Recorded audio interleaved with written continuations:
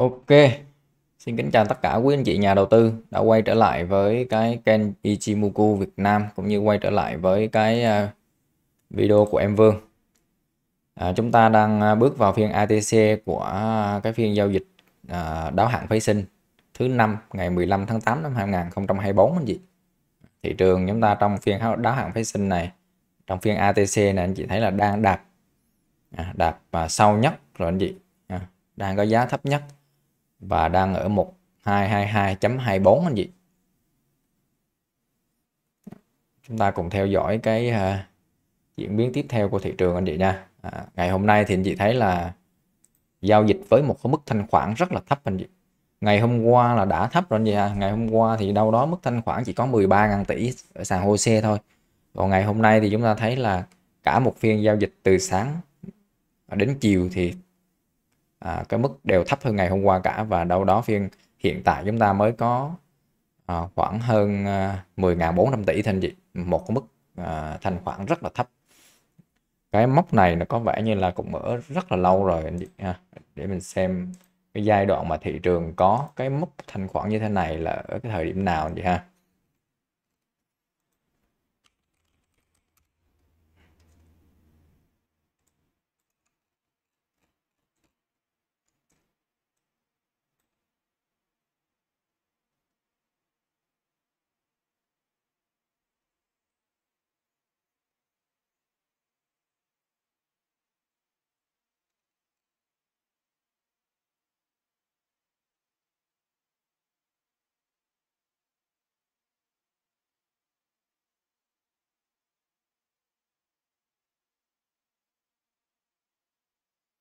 À, đâu đó giai đoạn đầu năm anh chị đầu năm 2023 thì chúng ta cũng có những cái giai đoạn có mức thấp như thế này anh chị ha. Nhưng mà cũng rất là ít anh chị. À, ở đâu đó à, tháng à, tháng 2 năm 2023 như vậy là cũng đã hơn một năm rưỡi rồi anh chị.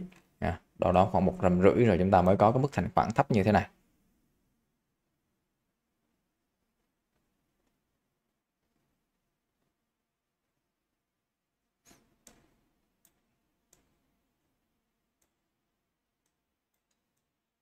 Rất là thấp ha.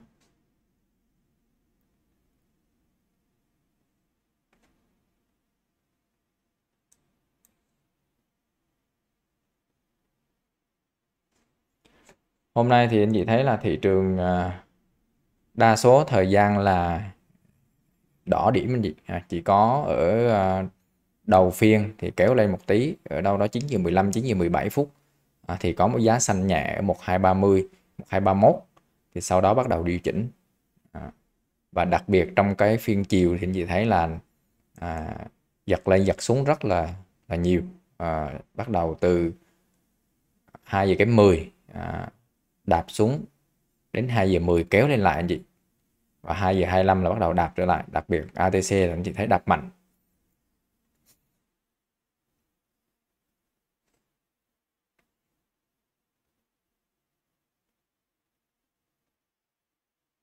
Thị trường vận động rất là yếu ớt anh chị. Sáng hôm nay thì anh chị nhìn vào bảng điện thì anh chị có thể thấy là các cái cổ phiếu à, các cái giao dịch nó bảng điện chớp rất là nhẹ nhàng anh chị.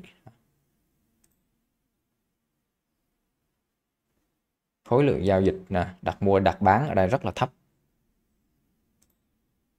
Ngày hôm nay là cái nhóm thép anh chị thấy là đều là những cái cổ phiếu giảm mạnh và phá đáy trước anh chị phá cái đáy trước anh chị có thể nhìn thấy cái nhóm thép. À, HPG cũng thủng đáy trước anh chị. Đây là cái đáy cái phiên mà thị trường tạo đáy ở 1184 à, thì HPG tiếp tục thủng thủng đáy. À, thị trường phục hồi nhưng mà HPG không phục hồi được anh chị. Ừ. rồi hoa sang hoa sang cũng thủng đáy anh chị ha. À, thị trường tạo đáy 1184 cổ phiếu cũng tạo cái đáy thứ nhất ở đây nhưng chỉ một phục hồi rất là nhẹ. Và ba phiên liên tiếp thì chúng ta thấy là giảm mạnh và chúng ta thấy đang có giá sàn ở hoa sen anh chị ha. À, ATC à, như vậy là còn giảm à, 3.7 phần trăm.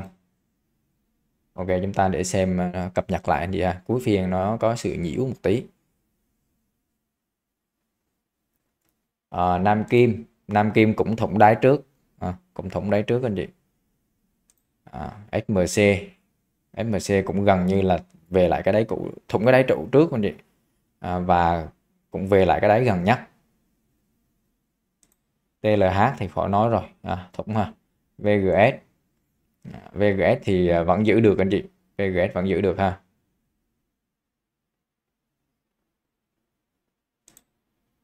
VGS giảm 3.7% đó là những cái cổ phiếu cơ bản của nhóm thép. Thì hôm nay gần như ngoài VGS ra thì các cái cổ phiếu đều là phá cái đấy trước rồi anh chị. À.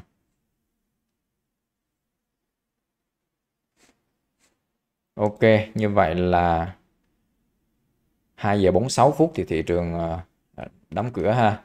À, thì anh chị thấy là thị trường đóng cửa giảm 6.8 điểm và đóng nến như 1223.56 à, trong phiên ATC thì những phút cuối có kéo lên một tí anh chị rồi Hoa Sen trong ngày hôm nay là giảm 3.7%. HPG giảm gần 1%. Nam Kim giảm 2.7%. À. Rồi chúng ta thấy một à, mình sẽ chia sẻ với anh chị một cái cổ phiếu mà ngày hôm qua mình đã trao đổi với anh chị ha, đó là cái cổ phiếu CSV anh chị.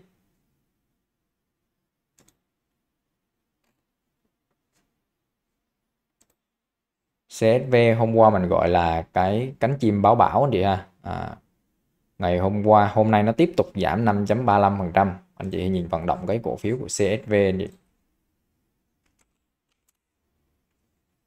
ngày hôm qua thì sau cái uh, một cái phiên hai phiên bùng nổ trước đó thì phiên ngày hôm qua nó tiếp tục nó kéo kéo điểm lên gần với giá trần anh chị hả? Sau đó là uh, đạp đạp trở lại bán ngược cuối phiên và làm cho ngày hôm qua là giảm 3.3% thì ngày hôm qua mình đánh giá là một cái cổ phiếu à, có thể báo hiệu một cái điểm xấu cho thị trường khi mà anh chị thấy là đã có hai phiên tăng trần và sau đó tiếp tục một phiên cố gắng tăng để vượt đỉnh tiếp nhưng mà bị bán ngược trở lại. Thì đó là một cái điểm báo rất là xấu cho thị trường trong giai đoạn ngày hôm nay đặc biệt trong giai đoạn thị trường khó khăn như thế này.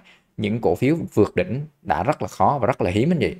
Và những cổ phiếu vượt đỉnh mà bị bán ngược trở lại như vậy thì anh chị thấy là sẽ báo hiệu một cái điểm xấu cho thị trường thị trường rất là dễ dàng điều chỉnh trở lại.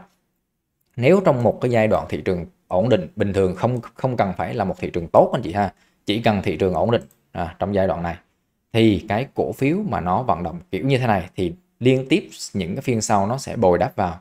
À, ít nhất là nó sẽ không bị gãy cái à, cái giá tham chiếu của phiên trước đâu anh chị nếu như nó kéo lên như thế này và anh chị thấy là lúc đó cái thanh khoản nó sẽ bồi đắp vào đây. À, thanh khoản sẽ tham gia vào. À, những cái phiên tăng điểm liên tiếp ở đây anh chị ha.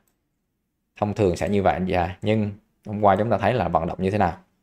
À, đã bị bán ngược ngay lập tức và phiên hôm nay tiếp tục bán thì anh chị thấy là rõ ràng đây là cánh chim báo bảo cho thị trường và thị trường đã giảm điểm rất là mạnh. Đặc biệt trong phiên ngày hôm nay cũng đã có những thời điểm giảm mạnh. À, nhiều nhiều cổ phiếu giảm rất là mạnh. Thì với cái vận động này thì mình cho rằng những phiên tiếp theo sẽ rất là khó khăn à, đối với à, cổ phiếu CSV này và cả với thị trường. À, những phiên này là phiên rất là xấu chị ha. Anh chị nào đua trong hai phiên vừa rồi thì đang bị lỗ rồi. À, hai phiên trước hàng đang bị kẹp ha. Ừ. À, thậm chí nếu như phiên đua phiên ngày thứ hai đầu tuần ở giá trần thì hiện tại cũng đã bị hàng về là cũng bị đỏ à, cũng bị cũng bị lỗ rồi anh chị ha. À, thì anh chị thấy là còn còn những cái cổ phiếu như thế này thì thị trường nó sẽ còn bất ổn anh chị nha. Những cổ phiếu vượt đỉnh không thành công bởi bị bán ngược trở lại như thế này và tiếp tục một phiên thứ hai bị bán như thế này thì lúc đó thị trường còn bất ổn à, anh chị để ý như vậy ha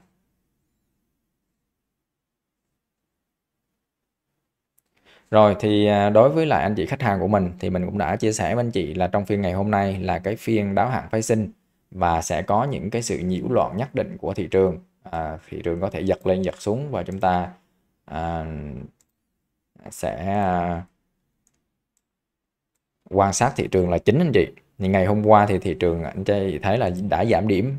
Hiện tại thì sau khi mà mình đã đứng ngoài thị trường hai tuần nay à, thì vẫn chưa cho anh chị tham gia trở lại anh chị thấy là những giai đoạn gần đây anh chị nào tham gia thì thì đều là à, không có lợi nhuận gì cả anh chị thậm chí là ôm lỗ và ôm những cái khó chịu trong người khi mà thị trường nó vận động khó chịu như vậy à, chị ôm cái à, ôm cổ phiếu lỗ ờ, và kèm theo là cái tâm lý hoang mang bất ổn anh chị cùng với cái biến động của thị trường. À, tham giai đoạn này thị trường rất là khó không có vội vàng gì để tham gia anh chị và mình vẫn chưa cho anh chị khách hàng à, tham gia anh chị nha. À. ngày hôm qua thì à, thị trường nó giảm cũng rất là nhiều cổ phiếu giảm từ 1 đến 2 phần trăm. Hôm nay tiếp tục là giảm điểm anh chị nha. Thì mình cũng có chia sẻ với anh chị là à, chúng ta sẽ chờ thêm à, thị trường sẽ giảm để chúng ta sẽ có những cái à, giá để tham gia tốt hơn thì anh chị thấy là hôm nay tiếp tục à, chúng ta đã có cái giá tốt hơn để tham gia à, so với những phiên trước rồi. À, và thị trường nó vận động như thế này là mình cho là sẽ có những cái à, phiên giảm điểm mạnh nữa. À, và cái vùng chờ mua của mình là, là vùng 1220 1002 thì anh chị thấy hôm nay là có những lúc nó về thấp nhất là 1221.94 à, thì cũng đã rất là sát với cái vùng mình chúng ta chờ mua rồi. Tuy nhiên mình vẫn muốn à, sự an toàn hơn nữa anh chị và chờ thêm một vài phiên à, nữa có thể là nó sẽ có những cú đặt mạnh hơn. À, có thể là xuất hiện ngay ở phiên mai anh chị nha sẽ có cái giá tốt hơn nữa cho chúng ta. À, giá hiện tại đã có thể tham gia được nhưng mà sẽ có những giá tốt hơn. À, trong cái giai đoạn thị trường điều chỉnh như thế này thì cái việc chúng ta mua điều chỉnh là rất là cần thiết. À, và mua những giá xanh tím trong giai đoạn này là khả năng chúng ta lỗ à, rất là cao. Anh chị nha tuyệt đối à, anh chị phải à, tuân thủ kỷ luật mua chỉ giải ngân khi mà thị trường điều chỉnh à, và giải ngân từng phần giải ngân vào những cổ phiếu đỏ à, và tuyệt đối không mua đuổi những cổ phiếu xanh tím. À, với cái kinh nghiệm của mình trên thị trường này thì mình khuyên anh chị như vậy ha. Hy vọng rằng cái góc nhìn của mình sẽ giúp anh chị à, đầu tư tốt hơn và hy vọng nó hợp với cái gu đầu tư của anh chị. À, mong rằng chúng ta sẽ sớm đồng hành cùng nhau anh chị nha. Anh chị nào thấy cái chia sẻ của em nó hợp lý thì có thể về đồng hành cùng em để chúng ta sẽ chuẩn bị cho giai đoạn sắp tới. Một cái giai đoạn mà mình và anh chị khách hàng sẽ đang chuẩn bị để à, shopping trở lại ha. Đây là cái giai đoạn mà chúng ta sẽ lựa chọn cổ phiếu. À, bởi vì chúng ta đứng ngoài đã hai tuần nay rồi. À, và giai đoạn này thì là cái giai đoạn à, rất là tốt để quay lại thị trường với cái giá tốt. À, và danh mục thì mình cũng đã lên cho anh chị khách hàng đang có à, đang chuẩn bị các cái cổ phiếu nó về điểm mua thì tham gia thôi anh chị. À, kế hoạch lên sẵn cứ như vậy mà thực hiện anh chị ha. À. À, những cái phiên vừa rồi thì anh chị thấy là đặc biệt là hai cái phiên đầu tuần anh chị thấy là thị trường nó giật lên giật xuống và nó biến động rất là mạnh. À, đặc biệt trong cái phiên à, 15 phút cuối phiên anh chị. À, thì ờ, thị trường ờ, cũng như cổ phiếu thì đã đang ở cái giá đỏ. Đỏ rất là mạnh như vậy ba bốn phần trăm thì đột nhiên kéo một cách rất là nhanh lật mặt à, kéo vù vù lên về giá tham chiếu thì trong giai đoạn đó có nó kích hoạt một cái sự FOMO nhất định của anh chị nhà đầu tư. Tuy nhiên thì cũng không phải là quá lớn khi anh chị nhìn thấy cái à, mức thanh khoản trong giai đoạn này thì có rất là nhiều nhà đầu tư lo lắng à, đứng ngoài thị trường anh chị. Nhưng cũng có những nhà đầu tư tham gia FOMO vào. Thì những anh chị nào mà FOMO vào khi mà thị trường nó lật mặt nó kéo lên như vậy à, thì chắc chắn là đã bị ôm lỗ. Và chắc chắn là tâm trạng sẽ rất là khó chịu. Vì diễn biến thị trường anh chị thấy là nó giật lên giật xuống như vậy chứ không phải là nó đi bình thường à, dễ chịu anh chị. Rất là khó khăn ha.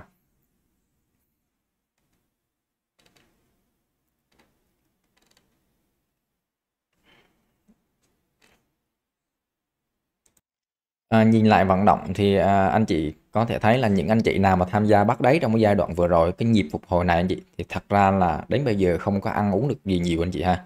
À, chỉ một vài cổ phiếu đem lại cái lợi nhuận thôi và đa số là anh chị đã bị kẹp hàng. À, thì à, với cái như vậy thì anh chị thấy là khi mà thị trường nó phục hồi dài như vậy nhưng à, chỉ cần hai phiên điều chỉnh thì anh chị thấy là đã bị kẹp hàng vì sao anh chị? Trong giai đoạn phục hồi này thì anh chị thấy là cổ phiếu ờ, uh, midcap và penny nó không phục hồi bao nhiêu cả anh chị. Là những cái cổ phiếu mà anh chị nhà đầu tư hay quan tâm hay nắm giữ à, hay tham gia thì nó không phục hồi bao nhiêu cả mà nó phục hồi chính ở các cái cổ phiếu trụ chủ yếu là kéo điểm nha. Anh chị nhớ lại các phiên trước này à, ngày thứ hai thứ ba đầu tuần đều là những cái giai đoạn mà kéo uh, kéo trụ cả anh chị. À, biến động rất là mạnh và đều là xuất phát từ những cổ phiếu trụ. À, à, PLX à, rồi à, à, BID rồi Vinhome à, đều là những cổ phiếu trụ kéo cả anh gì ha. Và những cái cổ phiếu à, uh, midcap thì nó không tăng bao nhiêu cả nhưng mà khi anh chị thấy thị trường giảm thì những cổ phiếu midcap nó giảm trước. Uh, thì anh chị thấy là những cái cổ phiếu mà anh chị bắt đáy nếu mà tốt nhất là những cái cổ phiếu như CSV thì hôm nay nó cũng bị bán lại ha. rất là nhiều anh chị kẹp hàng. Nó tăng hai phiên trần nhưng mà cũng bị bán ngược trở lại. Anh chị đu vào là dính ngay. Rồi những cổ phiếu mà anh chị thấy trong nhóm chứng khoán như là à, uh, FTS CTS, BSI đó là những cổ phiếu nó tăng trần đầu tiên như vậy. À, cũng rất khiến cho rất anh nhiều anh chị FOMO hưng phấn. À, thì anh chị thấy là những phiên này nó cũng giảm điểm trở lại ha. Không có thật ra không có lợi nhuận bao nhiêu. Đó là những cổ phiếu tốt nhất trên trên thị trường trong nhịp phục hồi vừa rồi còn ngược lại thì những cái cổ phiếu khác, anh chị thấy nếu như anh chị bắt vào những cái cổ phiếu nhóm thép đi, ha, tất cả đều phá đáy ngày hôm nay anh chị ha, đi xuống lần hầu như bắt nhóm thép rồi là bị dính cả, ha. Hoa Sang thủng đáy, Nam Kim thủng đáy SMC TLH VGS ha. chỉ có VGS là vẫn ổn hơn một tí, anh chị ha, ổn hơn một tí còn các cổ phiếu kia thì anh thấy chị thấy là thủng cả rồi bất động sản những cái cổ phiếu, những cái nhóm ngành mà anh chị em yêu thích thì anh chị thấy là đều thủng cả DIG PDR à, không có ăn uống được gì nhiều anh chị ha mà nó giật lên giật xuống như vậy thì anh chị thấy là rất là đau tim à. À. thì nếu anh chị vội vàng tham gia khi mà thị trường nó chưa ổn định anh chị, thì khi mà người ta à, trong cái giai đoạn tới à, mình cho rằng sẽ có một một cú đạp nữa. Thì đó là thời điểm hiện tại đã rất là gần với cái vùng mà chúng ta có thể à, mua và quan sát để mua được rồi. Nhưng mình cho là sẽ có một cú đạp nữa để chúng ta có cái giá thấp hơn giá tốt hơn để shopping. Thì trong giai đoạn mà à, anh chị thấy là mình cho anh chị khách hàng đứng chờ thì cũng rất là nhiều anh chị sốt ruột hỏi mình là lúc nào tham gia được hay là sao đứng ngồi lâu vậy. Nhưng mình chỉ thấy nếu như tham gia thì à, rõ ràng không có hiệu quả gì mà nó, nó làm cho chúng ta à, khó chịu với cái biến động thị trường như vậy. Thì thôi chúng ta đứng ngồi thị trường bây giờ à, khi mà thị trường nó chuẩn bị có những cái điểm mua đẹp rồi thì anh chị thấy nếu như bây giờ có một phiên điều chỉnh nữa thì chúng ta sẽ có những cái phiên có những cái cổ phiếu nó giảm giá nó chiết khấu tốt hơn cả những thì khi mà à, những cổ phiếu đó tại thì giai đoạn thị trường tạo đáy 1184 này anh chị ha. Dù là thị trường nó ở cái vùng giá cao nhưng cổ phiếu lại có giá thấp hơn. À, đó là cái đặc biệt à, của thị trường à, trong cái nhịp điều chỉnh như vậy anh chị ha đó thì anh chị sẽ à, chúng ta giai đoạn này tha hồ mà lựa chọn cổ phiếu à, khi thị trường điều chỉnh à, không mắc gì phải mua những cái cổ phiếu khi mà thị trường nó đã tăng nhiều tăng mạnh ha à. Rồi chúng ta sẽ đánh giá một tí về thị trường trong phiên giao dịch ngày mai nha. Ngày mai thì chúng ta thấy là hiện nay thì thị trường đóng nến ở 1223 à, chấm 56 thì nó rất gần với cái vùng hỗ trợ 1221 anh chị. 1221 là đóng nến tuần ở tuần trước anh chị nha. À, 1221 thì cái mốc ngày hôm mai là rất là quan trọng nếu như thủng sớm cái mốc 1221 thì có thể nói là sẽ có một cái phiên điều chỉnh đâu đó 20 điểm là có khả năng xảy ra về vùng 1200 anh chị nha à nếu giữ được cái vùng 1221 thì anh chị có thể kỳ vọng nó quay trở lại vùng 1230 à. nhưng thủng sớm thì có thể có một nhịp giảm mạnh.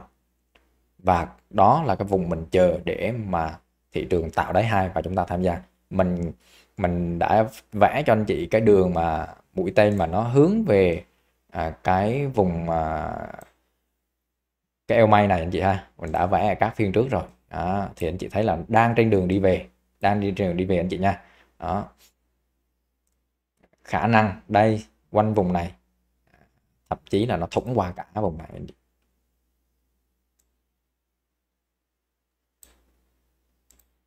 Đó, thậm chí là thủng qua cả vùng này.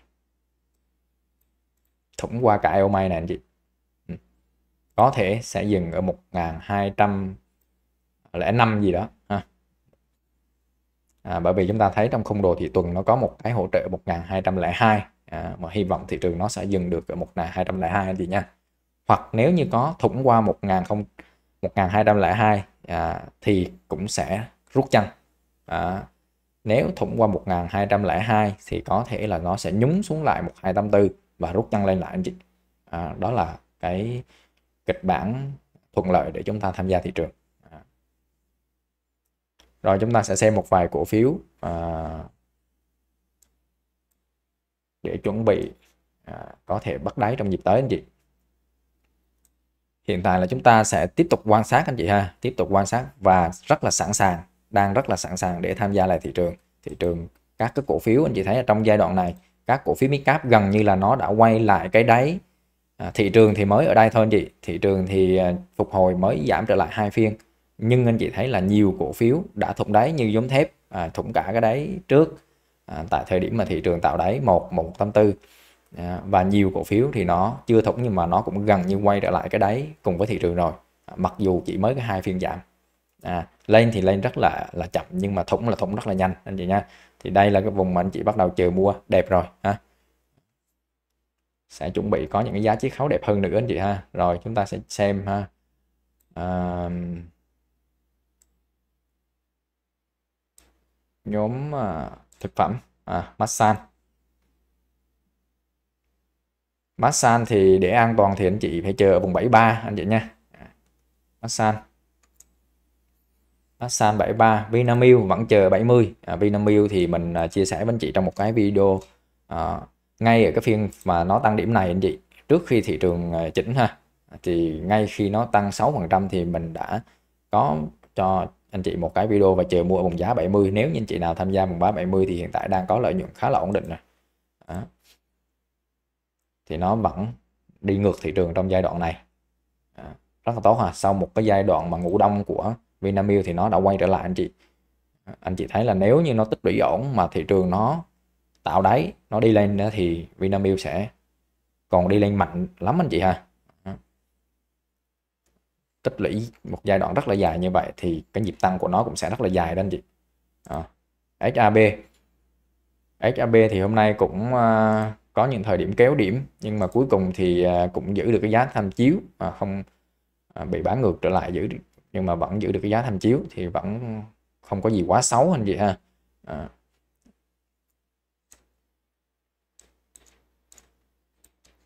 Tuy nhiên Sabeco thì hiện tại cũng chưa nên tham gia anh chị chưa nên tham gia. Rồi. À. MWG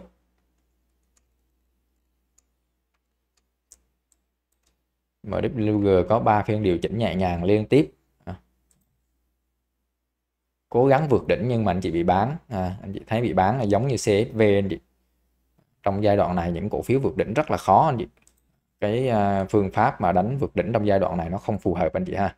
À, tùy cái giai đoạn thị trường anh chị. Giai đoạn này mà anh chị nào đánh vượt đỉnh là coi như là không có cổ phiếu nào ăn được anh chị. Ừ. Đợt trước thì anh chị nhớ cái cổ phiếu mà VHC VHC anh chị. Cổ phiếu mà đánh vượt đỉnh mà không thành công là anh chị thấy là nó à, đặc biệt của VHC anh chị nhìn lại cái khoảng thời gian ngày năm thời ngày 9 tháng 5 anh chị. À, khi mà nó đánh vượt đỉnh và bị đánh bán ngược lại như vậy thì có nó có liên tiếp hai phiên bán tiếp và sau đó gần như là nó bắt đầu từ đó là nó đi vào cái xu hướng giảm. À, những cổ phiếu mà vượt đỉnh không thành là rất là nguy hiểm anh chị ha. Vượt đỉnh thành công thì nó sẽ chạy tiếp mà vượt đỉnh không thành thì thì có thể nói là bước vào cái uh, xu hướng giảm à, và nếu như không giảm thì nó cũng rất mất thời gian để cân bằng trở lại mới tăng tiếp. Anh chị thấy là nó cân bằng trở lại. Hai phiên rồi nó cân bằng rồi nó gãy tiếp. À, cân bằng ở đây rồi gãy tiếp rồi cố gắng đi lên rồi bùng lên một cây nữa thì gãy tiếp. À, rất là khó khăn đối với những cổ phiếu như vậy anh chị. Rồi DGV kép. DGV kép thì cũng à, cổ phiếu này thì giai đoạn trước mình cũng khá là kỳ vọng nhưng cũng khá đáng tiếc khi nó uh, bị bán hai cái phiên này anh chị ha. Anh chị nhớ hai cái phiên mà bán giá trần giá sàn của à, uh, DGV kép ngày 23 tháng 7 anh chị. À, rất là tiếc hai phiên này. Sau hai phiên này thì mình nói với anh chị là sau phiên trần đầu tiên là phải bán. À, phiên sàn đầu tiên là phải bán anh chị. Sau đó anh chị thấy là nó tiếp tục một cái phiên nữa giảm gần sàn và sau đó là nó ở không thể lên được anh chị cần phải cân bằng trở lại.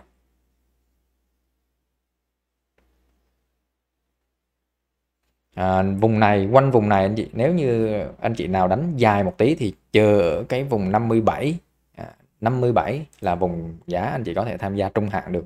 À, và anh chị nắm ít nhất phải được 6 tháng 3 đến 6 tháng anh chị.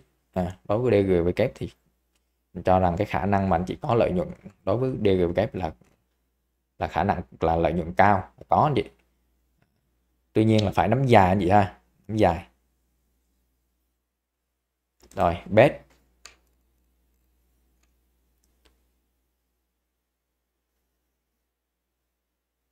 bet hôm nay thì giảm 1.7% ừ.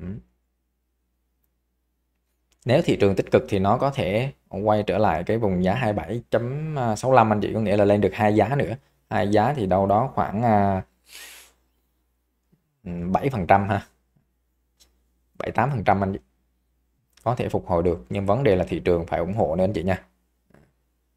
Nếu như thị trường đạp một cây nữa thì có thể nó sẽ có cái quanh lại vùng giá 24.5 24.5 là tham gia được. View. View thì cũng mấp mé thủng đáy trở lại anh chị ha. À. thủng đáy lại thì à, chưa nên tham gia. Ờ. Nếu cổ phiếu nào thủng đáy thì anh chị phải xác, phải xem cổ phiếu đó có uh, có tín hiệu đảo chiều nào hay không anh chị à còn nếu như thủng đáy mà không có tín hiệu đảo chiều thì anh chị không tham gia anh chị nha. View thì hiện tại mình thấy là không có tín hiệu đảo chiều nào cả. À. ok chưa tham gia được anh chị. Rồi FMC của thép. Ừ. thì uh, anh chị thấy là đây là một cổ phiếu có thể nói là siêu đầu cơ anh chị. Mình cho rằng đây là một cổ phiếu siêu đầu cơ khi mà nó đánh lên từ cái vùng giá 11.7 à, lên cái vùng giá 20.4 thì sau đó bắt đầu điều chỉnh. À, thì đây là một cổ phiếu mà mình cùng với là anh chị khách hàng ăn được một nhịp đâu đó khoảng là um, 40 phần trăm mình à, rất là may mắn rất là may mắn mình ăn được 40 phần trăm cái nhịp của SMC trong cái giai đoạn vừa rồi. Và sau khi nó uh, mình đây ở đây mình nhớ ở đây là cây nào ta? Đâu đó khoảng cây này. À, để mình xem lại. À, mình mình không chốt được trên đỉnh này anh chị mình, mình chốt hai lần chốt 50 phần trăm ở cái vùng này. À, sau đó qua bên cái sườn này cái cây này mình chốt tiếp 50 phần trăm nữa. À, thì sau đó anh chị nó đổ đều luôn. À, đổ đều. Cái nhịp tăng của nó đầu tiên là nó tăng được à, 70 phần trăm cả cái nhịp tăng thì mình cùng với anh chị khách hàng thì ăn được cái nhịp này đâu đó khoảng 40 phần trăm. À, nhịp tăng của nó 70% thì mình ăn được ừ, mình đu được 40% và hiện tại thì anh chị thấy là nó điều chỉnh trở lại là hơn khoảng 50% rồi. À, điều chỉnh trở lại 50% từ vùng đỉnh rồi. Phải nói là siêu đầu cơ anh chị ha. À, anh chị nào đu được cái cổ phiếu này thì cũng ăn khá là tốt nhưng mà anh chị nào dính ở trên đỉnh này thì thôi rồi. À, đau khổ ha. À, như vậy là chúng ta phải à, biết lúc nào vào lúc nào ra anh chị ha phải ra kịp thời anh chị ha. Còn nếu như anh chị mà không ra kịp ở cái cây sàn đầu tiên này thì phía sau anh chị thấy là nó đổ đều rất là nhanh anh chị ha, rất là nhanh. Không kịp trở tay đâu anh chị. Và khi anh chị thấy là nó giảm tiếp một cây như thế này thì anh chị nghĩ là hai cây rồi hai cây sàn rồi thì à, có thể nó sẽ không giảm nữa. Và anh chị cố uh, bấu víu. Nhưng mà anh chị thấy cái điều gì xảy ra phía sau? Giảm sàn rồi thì có thể sàn nữa và có thể sàn nữa sàn liên tục. Anh chị ha sàn liên tục như vậy. Cho nên chúng ta tham gia cũng phải rất là kỷ luật anh chị và đưa phải xây dựng cho mình tự xây dựng cho mình một cái kỷ luật giao dịch. Khi nào vào khi nào ra à, hoặc và chúng ta cần phải có một người hỗ trợ tư vấn có tâm anh chị nha. Đồng hành cùng thì à, mới đi được xa trên thị trường này anh chị. Ok thì đó là những cái chia sẻ của em Vương trong cái video lần này. À, hy vọng cái video nó đã đóng góp cho anh chị được một à, số cái góc nhìn giúp cho anh chị đầu tư tốt hơn. Anh chị nào à, nếu như thấy những cái chia sẻ của em là tốt à, có thể giúp anh chị kiếm được tiền trong thị trường này thì có thể về đồng hành cùng em bằng cách mở một cái tài khoản SSI anh chị nha. ID của em là Y610022 à, anh hãy hãy về đồng hành cùng em. À, thì à, hiện tại thì ITB đang triển khai cái app à, chứng khoán ITB anh chị. Thì cái app này nó sẽ đưa ra à, các khuyến nghị à, điểm mua điểm bán cổ phiếu à, cũng như là chốt lời cắt lỗ. Anh chị có thể là nhận được tín hiệu à, từ câu lạc bộ. À, tín hiệu rất là rõ ràng anh chị. À, lúc nào mua lúc nào bán và điểm mua điểm bán rõ ràng. Anh chị có thể nếu như anh chị đã có cái tài khoản SSI à, thì có thể um, đăng ký gói VIP 2 anh chị ha còn anh chị nào chưa có tài khoản thì có thể mở một cái tài khoản và gắn cái ID của em là Y610022 à, uh, đăng ký gói VIP 2 với và một cái với cái NAV à, tối thiểu 50 50 triệu đồng anh chị thì uh, sẽ được IT của câu lạc bộ duyệt à, tham gia uh, sử dụng cái app anh chị nhé anh chị nào à, chưa tham gia vào cái room cộng đồng thì có thể quét cái mã QR code trên màn hình để tham gia vào cái room à, em sẽ thường cập nhật à, diễn biến của thị trường cũng như là có câu hỏi nào thì anh chị có thể để lại và chúng ta hỏi đáp ở trong đó anh chị nha à. rồi anh chị nhớ cho em xin những lượt like video anh chị nha. À, xin chào và hẹn gặp lại tất cả anh chị ở cái video tiếp theo. Xin chào.